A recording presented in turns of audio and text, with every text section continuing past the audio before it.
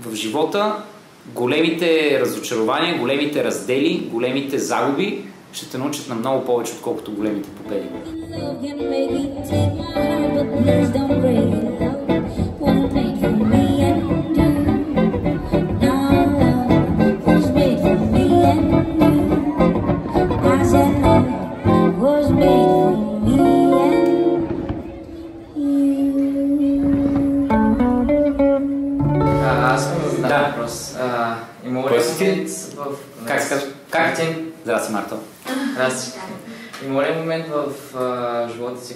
Искал да се откажеш? О, да, да, да, да, да, да. Това е абсолютно нормално. При някои музиканти се случва, при други не. А, при мен се случи. И, и искам да го върна към а, неговия въпрос и отговора, който му дадох.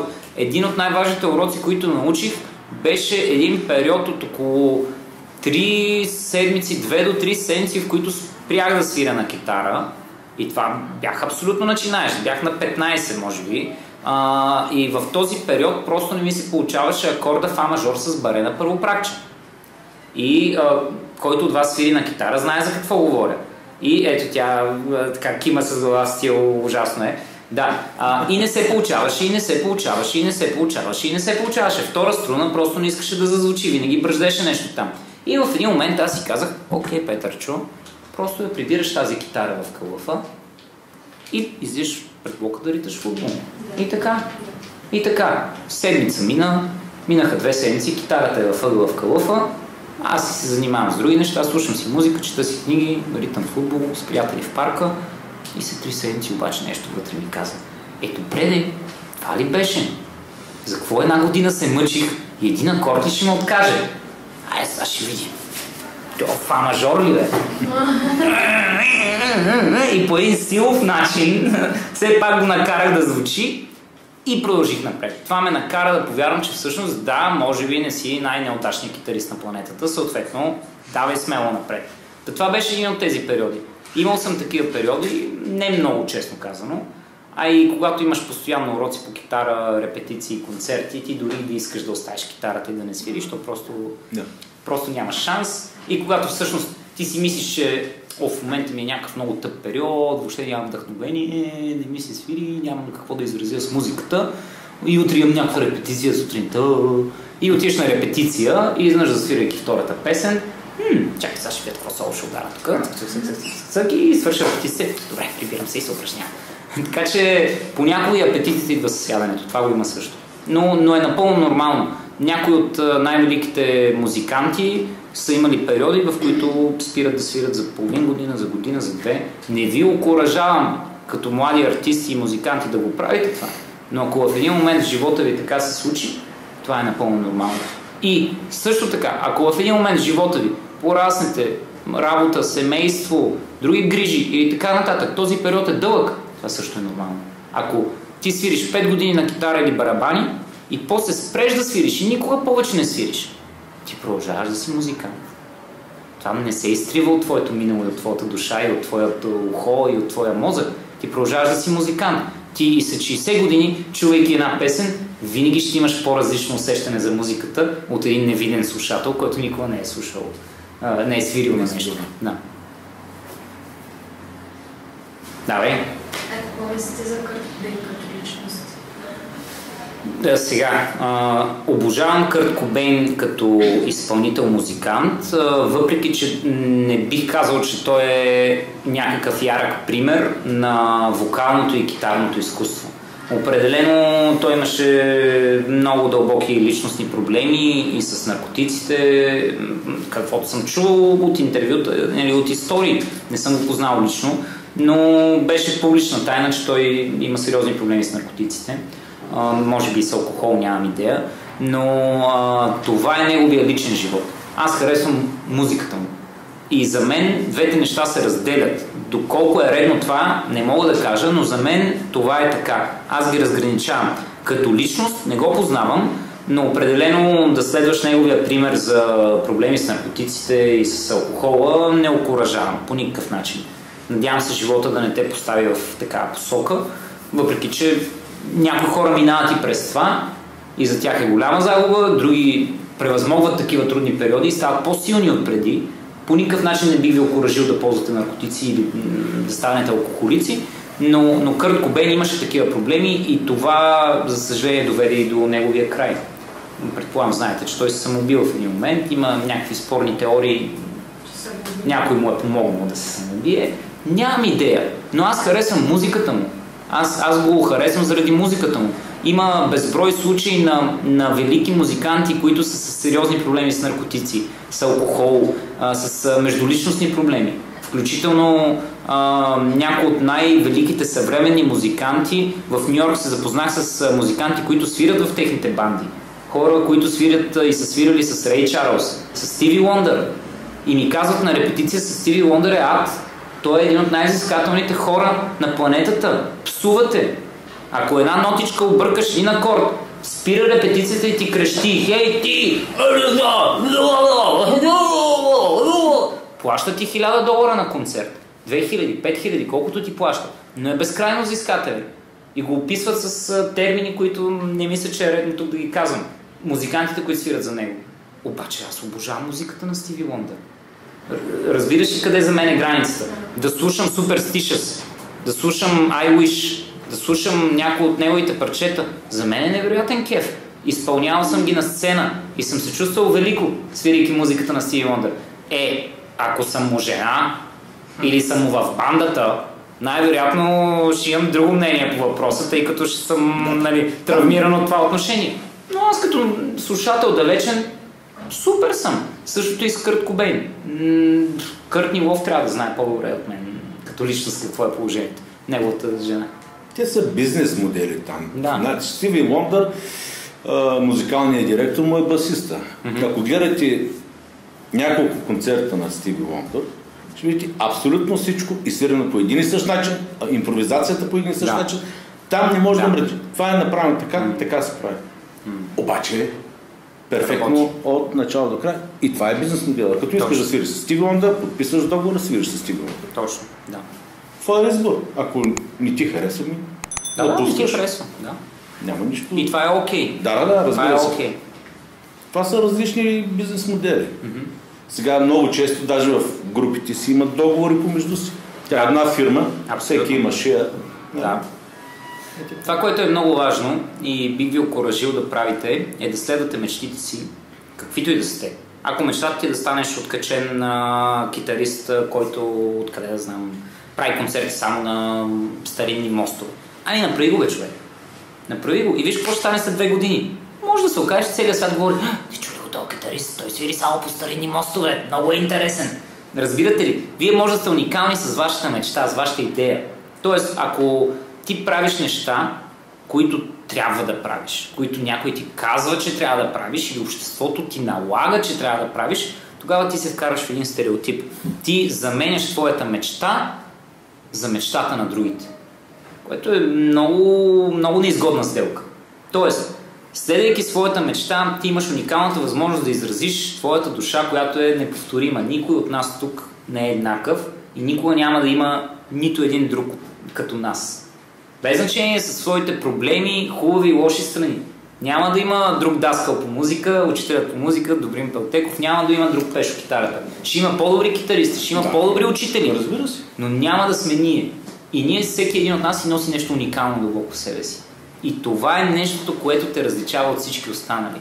Тоест, ако всички ядем храна и пием вода и дишаме въздух, няма, няма много логика в това да се водиш по общото мнение и да просто да разказваш как обичаш да ядеш храна и да пиеш вода и да дишаш въздух. Това е ясно. Но ако ти имаш откачената идея да отидеш в бразилската джунгла, да намериш най-доброто махагоново дърво, това е забранено, между другото бразилския махагон е забранен за износ, но все пак да години от него правяха китари.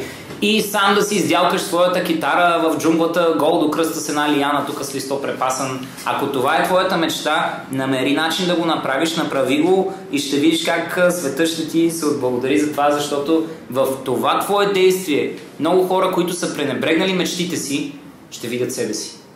И седейки в офиса, ще си кажа, ама и аз имах мечта да се кача на връх Килиманджаро и да изпея рипни калинке. Защо се отказах като бях на 21? Може би 70 години по-късно се усещам, че не трябваше да направя в този офис, седя, нямам вече мечти, всичко свърши. Тоест, ти ще си много по-уникален с това, което за теб е откачено, странно, каквото искаш другите да го наричат. Но това е твоята същност, това си ти.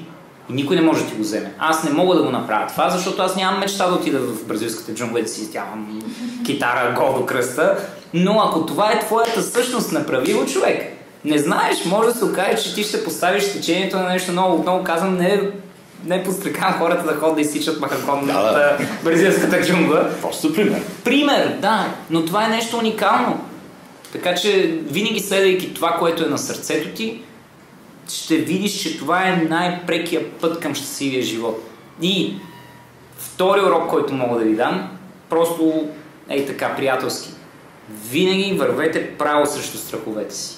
Това е много важно. И ми отне много години да го науча това. Ако от нещо те е страх, е точно е това трябва да направиш. Ако това, което правим ви харесва, дайте по един лайк, абонирайте се с камбанката и споделяйте видеото с вашите приятели.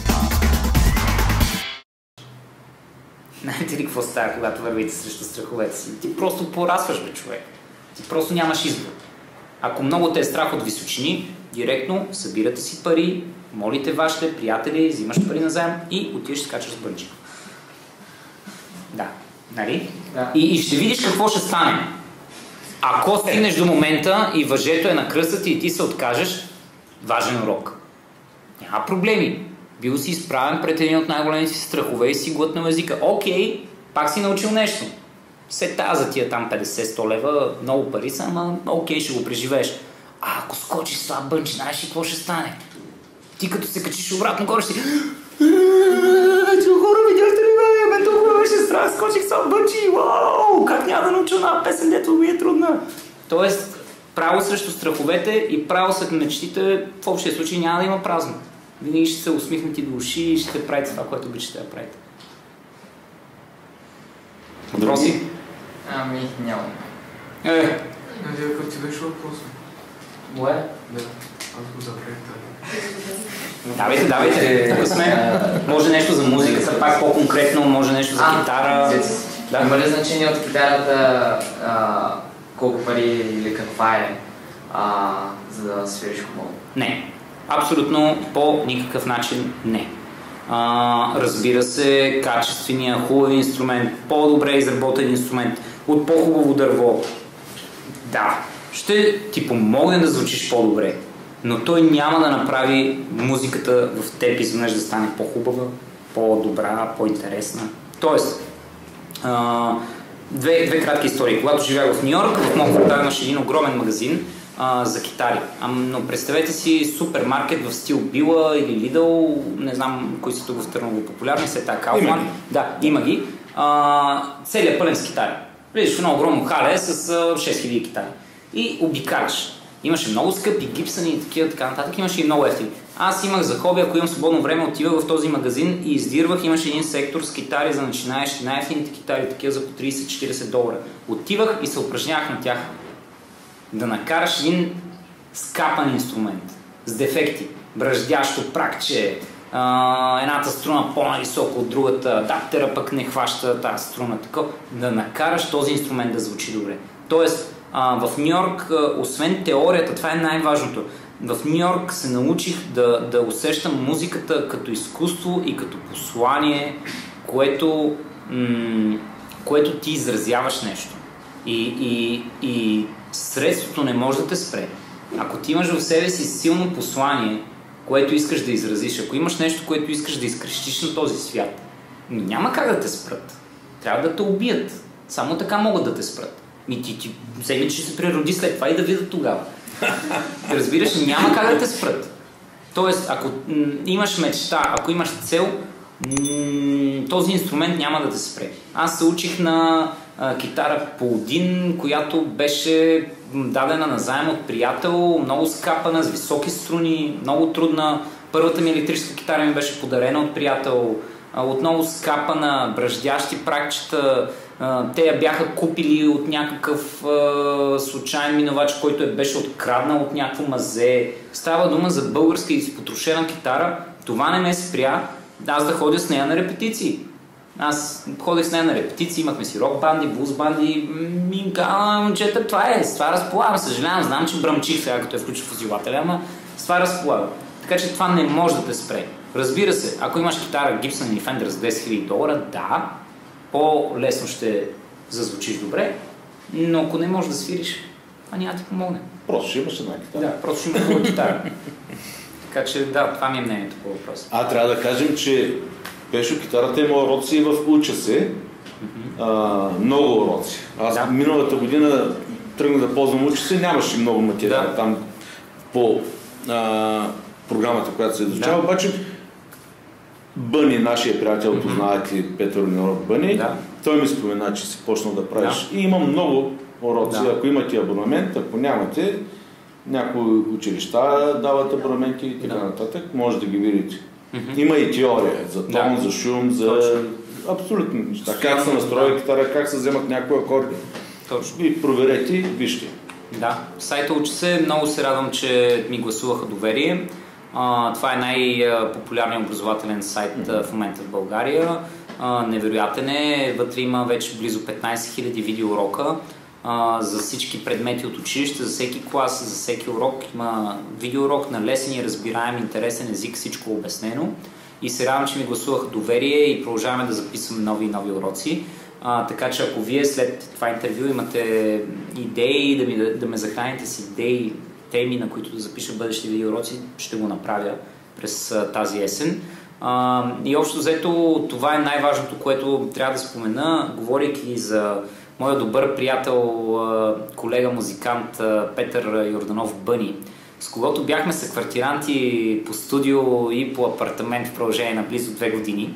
Въпреки, че и двамата сме от София и, и си имаме някакви такива места, на които може да живеем при семейство и така нататък, в един момент се озовахме и двамата да наемаме общ апартамент в центъра на София, в който живеем. И целта беше всъщност, че ние и двамата имаме много сходен подход към музиката, сходна енергия и отношение. И осъзнахме, че ако се коалираме, това може да, да стане още по, по-хубава, по-голяма магия.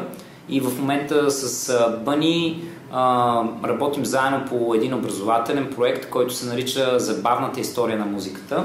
И а, в него така представяме към а, по, по-малки от вас а, деца направо и, и младежи като вас. Представяме историята на музиката по един а, разбираем начин и забавен, как се появили струнните инструменти, перкусите, ритмите, различните стилове.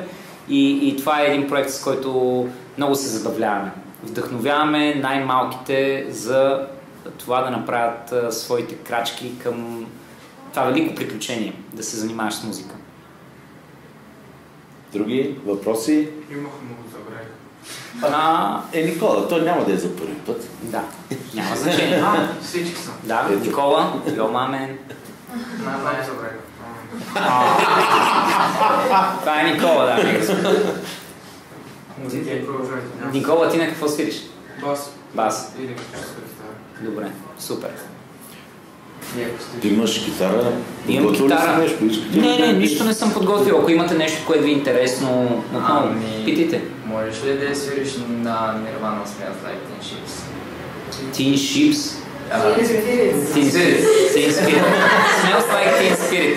А, не, защото можеш и да е песен, която не съм чувал. И сега, това е тази песен. Аз викам, е, едно време Нирвана други песни имаха. Сега вижте какво стана. Модерни времена тук. Младежите вече Въпреки, че това е въпреки, че това е песен, която не свира редовно, обаче преподавам. Радвам се, че имам много ученици, които са и на вашата възраст и които така ми носят хубава музика, защото им казвам, идваш на всеки урок с една USB флашка с любимите песни, нямаш избор, човек. И ми носят Нирвана и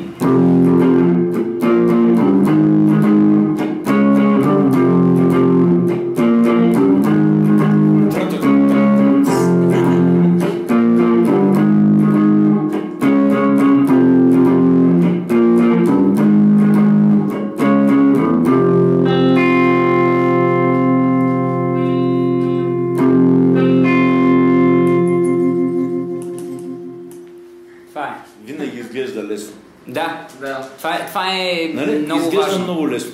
Но и трябва да е лесно. Ако нещо ти е трудно, това е добра посока отново с страховете и с целите. Това е добро, добра посока за развитие. Да се бориш с нещо трудно. Но когато си на сцена, когато изпълняваш, когато се изразяваш чрез музиката, трябва да е лесно.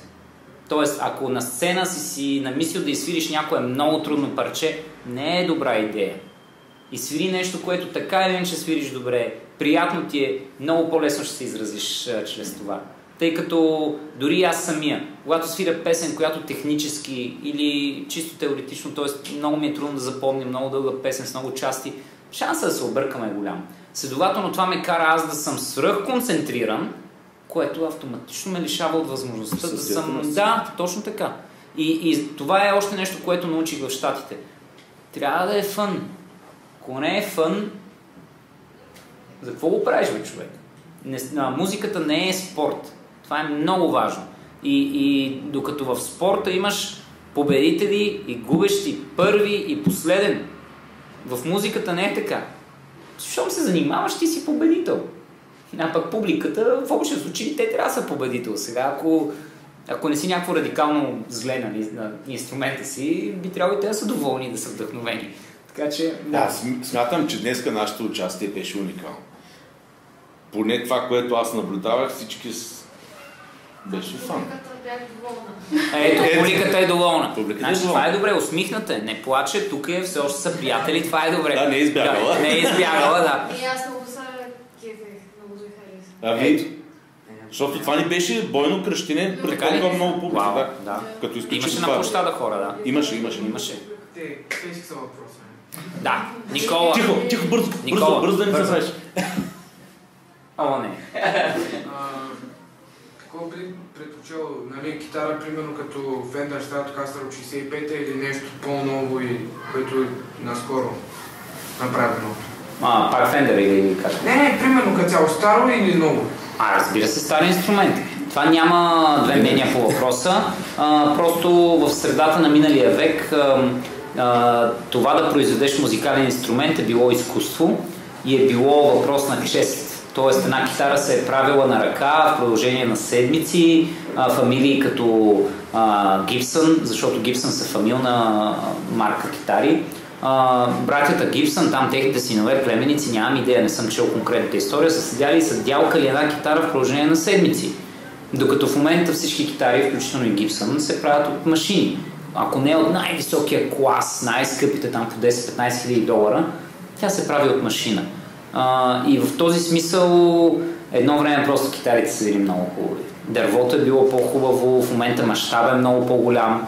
Тоест, а, да приемем, че ти, Никола, имаш невероятния талант и невероятната идея да произведеш нов музикален инструмент, отделиш 7 години на това да го изобретиш, той ще бъде произведен от не знам си каква пластмаса, защото ти си пробвал много различни модели и никое не звучи както онзи модел пластмаса или онзи модел дърво и най-сетне намираш уникалното дърво, правиш го, звучи супер, всички казват, вау, какъв е този инструмент, трябва да го имам. Нещата потръгват, след две години Никола притежава най-голямата фирма за производство на този инструмент, обаче желанието по света да го притежават хората е толкова голямо, че ти трябва да го произведеш 4 милиона инструмента годишно. Качеството спада. Едно е Никола да седи в фабриката, не в фабриката, в бараката на село и да дялка там три седмици един инструмент. Друго е да звънеш в Китай и да кажеш, а, трябват ми а, 4 милиона бройки от този инструмент, ще ви пратя модела и а, възможно най-низката цена. Няма как. Просто стария инструмент винаги е по-добре. Странно, с всички инструменти е така. И Да. саксофони, и кларнете, Да. цигулките, да не говорим за Е, цигулките. цигулките, да. Нали, Страдивари, амати. Да. Също обаче аз да дебатирам, не да споря. Мгм. А, според мен, защото старите инструменти те вече не струват много пари. Мгм. Обаче в днешно време за тези пари може и нали, примерно къстъм инструменти, Мгм. и които също са на много високо качество и пак не се правят от машина, а пак хора ги правят. Мгм. И аз това имам се Супер. Има такива, да, съгласен съм. Ако имаш добър бюджет, в България можеш да се здобиеш с много хубава китара, на- направена ръчно от лютиер, майстор, в рамките на няколко хиляди лева. Имаме такива. В Пловдив има един такъв човек, Диката се казва. А, има, има доста такива хора които правят хубави инструменти за по няколко хиляди лева. Разбира се, в магазина за няколко хиляди лева ще вземеш нещо по-скапано. Но, но аз го разбрах по друг начин въпроса, че дали сравняваме китара, произведена от 60-те години с, с китара, произведена днес. И по темата една къса, бърза история, а, която ми разказа моят учител по китара Ники Драгнев в Нов Български университет. Има един а, много популярен а, джаз а, китарист, а, един от най-добрите в света, казва се Джо Пас.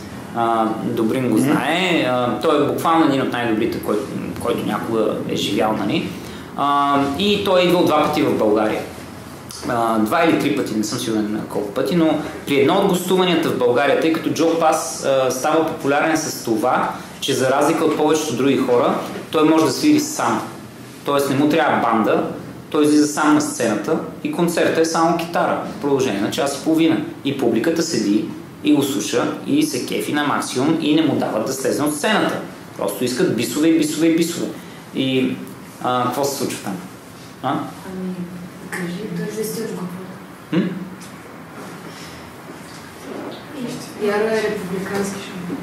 По? Яро, Да. нашия китарист, Да. още един китарист, ами те, още Браво. двама китариста, обаче те ни присъстват тук. Един е отсъства, защото е на състезание по... Той е на ММ, той е боец. ММА? Да. И е станал републикански На шампион. колко години? Той, той е седми клас.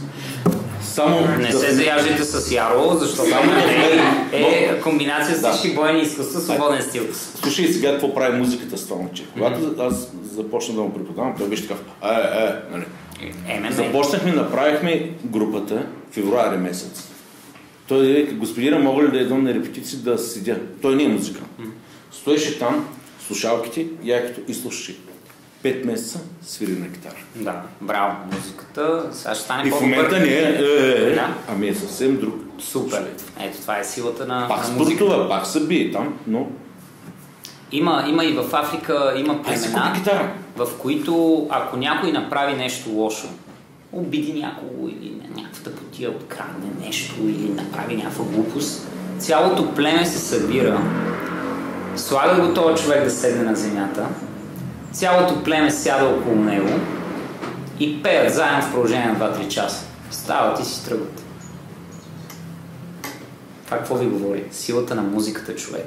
Когато чуеш всички хора, които познаваш, това е цялото ти племе, ти не познаваш други хора. И те се обединяват и пеят едни и същи песни около теб, емоционалния заряд.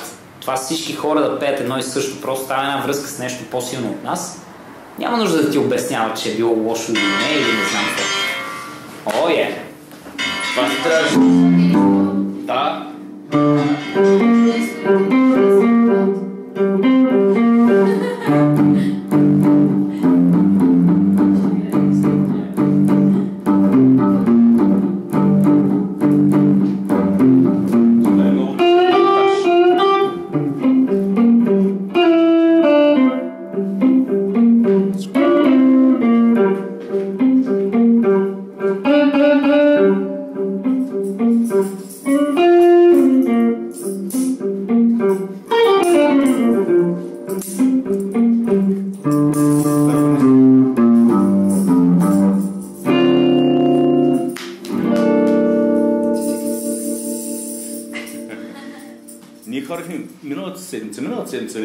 в Бъни. Имаше дръм свикъл. А, да, миналата там. миналия уикенд имаше. Супер. И той хори с него Супер. да Да. на джембе, на какво свири там. Ето, Бъни е, Бъни е идеалният пример за това, как ако следваш мечтите си, няма какво да те спре. Бъни, предполагам, също е имал интервю тук. О, той има няколко пъти. Първо идва... А, о, забравих как се запознахме. Обаче беше много... Преди много време правих микс на Бордуна, Татковото, където той участва заедно с а, Джиджири до Хорхе. Да. И, и, и се запознаваме на живо и после аз станах учител Срещнахме се, направи образователен урок, правихме даже тук в салона на това читалище, дори всички инструменти, лупа, бас-китарата, а, свири с бившия ни клавирист, който за мен да учи във Франция, Христо. Той е кавалчия също, направихме едно участие. После а, дари, имаме образователен урок за хендпан, хен, а, хендрум. Така че до, до, доста време се познаваме. Супер. Бъни не е учил музика в университет. Бъни е учил музика на улицата. Да. Бъни го помня, когато се върнах от щатите 2011 година, свиреше на джембе по парковете, дори още нямаше кахон. И признавам си, че когато го чух да свири на няколко пъти, бях по-скоро скептично настроен. Си казах, ай, тук не, някакъв младеж си лупа на тарамбуката, дори не е ритмично. Бъни от тогава, за 8 години, извървя толкова дълъг път, колкото доста от музикантите за цял живот не извървяват. Без да ходи в университет, без да ходи в консерватория, без да, да ходи на частни уроци дълги години при различни хора или нещо такова. Просто от любов към музиката, по цял ден свирене, Но, много. По цял ден слушане на музика, свиране, репетиции. Бъни не отказва никога репетиция. Ако има възможност, ще репетира, ще вземе концерт и така нататък. И това идва от любов към музиката. Това не е по задължение. Никой не му опрява един пистолет и да му каже, сега ще свириш всичко. И Бъни от любов към музиката в момента е един от най-разпознаваемите и работещи музиканти в България. Без университет, без консерватория, без уроци, без теория. Бъни не е от хората, които мен може да ме питаш. Мога да ти обясня за разликата между реве мелодичен минор и фа а, augmented scale.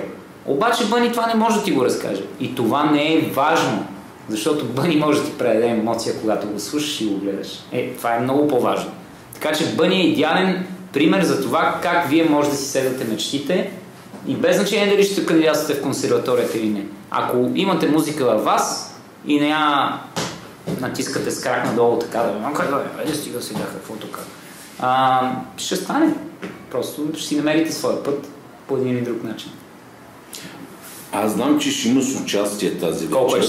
Сега е 6 без 15. Уу! Така че да ни спуснеш Ние началото. много добре си говорим. Най-вероятно и а, моят телефон му е паднала батерията, все пак да ви помахам. Аз правя лайвстрим от моята фейсбук страница, пеш китарата. Най-вероятно никой няма горе вече, защото той беше на 50% хелт. Така че, е, какво да правим? А, в колко се започваш? Ами трябва, трябваше при 20 минути да съм си на Костела за самчек. Добре. Приключваме нашото, Да. Нашия разговор. Благодаря ти. Аз благодаря за поканата. Наистина благодаря на младежите, че са тук. Надявам се да ви е било интересно. Аз предлагам да, да, да прескочим до самоводската чершия, Да. Да. който има възможност сега. В 7 и половина, а, поч- а, от 7 започваме. Е, има време. Има, още малко време. Има, да. Ти си с Деси, С Десен Донова. Да, Десен Донова. Ще свирим а, свинг музика. А, това е един от най-старите видове джаз. Така че, ако харесвате музика, която нали,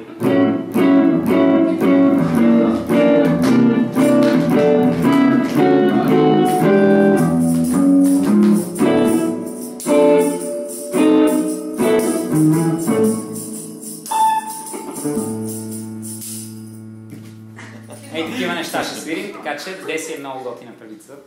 Много ви благодаря. Наистина, надявам се да сте чули нещо, което да ви е интересно и полезно, Много да ви вдъхнови. Наистина много. Да. И отново, ако трябва да го върна, следвайте си мечтите, хора. Ако ти искаш да станеш най-добрия мозъчен хирург, ако ти искаш да станеш, примерно, най-великия басист на света, ако ти искаш да си авиопилот, военен или не знам си какво, няма причина, няма да ги слушате какво ви обясняват роднини, приятели. О, ма то, знаеш колко мозъчни хирурзи има. Не ти ли пък ще станеш толкова добра? Да, ти ще станеш толкова добра. Няма, няма да въобще. А, Да, да, да, да, има, знам, че има много. Спокойно. Ами аз тук нещо ще си режа един мозък. Спокойно, да, да, не внимание. да. И ще станеш най-добрата. И ти, и ти, и ти, и ти, всеки един от вас. Просто изследвате мечтата, колкото и да е откачена. Каквото и да е. И ако от нещо ви е страх, а и ще трябва да го направите.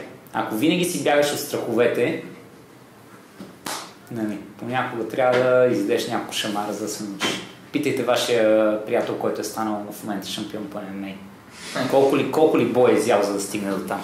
Така че, окей, в случай, че все още ни има на живо, Добрин Пелтеков, учителят по музика, група хаштаг Велико Търново, пеш от китарата. Благодаря ви, въпреки че най-вероятно това не се е излъчва. Йо!